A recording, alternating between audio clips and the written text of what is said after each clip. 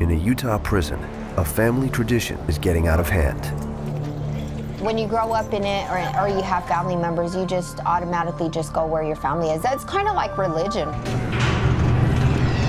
I mean, there, there's so many in it. I don't even know half of them, the younger generations. They spill blood, flaunt weapons, and order hits even behind bars.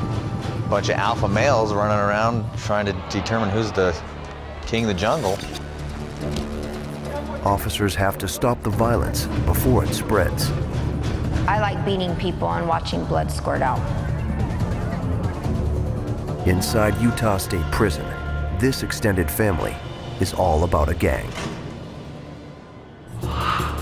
This full-service facility sits at the base of the Rockies. Inside live 80% of the state's incarcerated. The massive complex houses all security levels, from thieves to serial murderers, and contains its own mental health facility.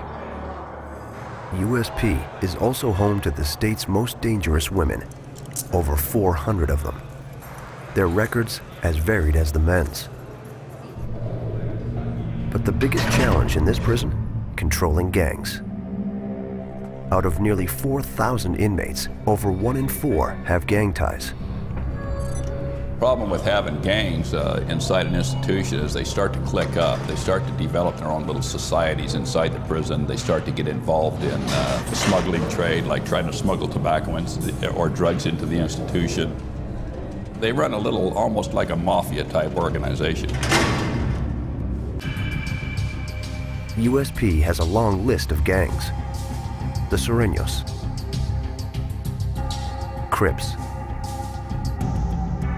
Aryan groups. Most began as street gangs.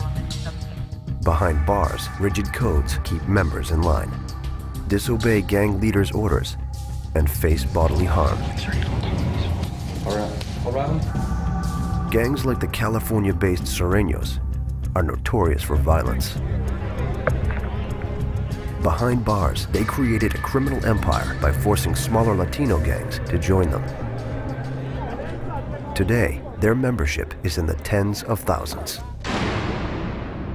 Gangs at USP caused violent incidents to spike, nearly doubling in just five years. It falls to Sergeant Tracy Skinner to locate the gangbangers and keep them under control. Inmates and gangs use hand signs like these to show their allegiance. But that doesn't make rounding up active gang members any easier.